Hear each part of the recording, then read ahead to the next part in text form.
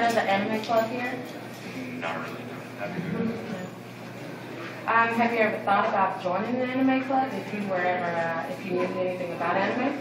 Not really. No, not at all.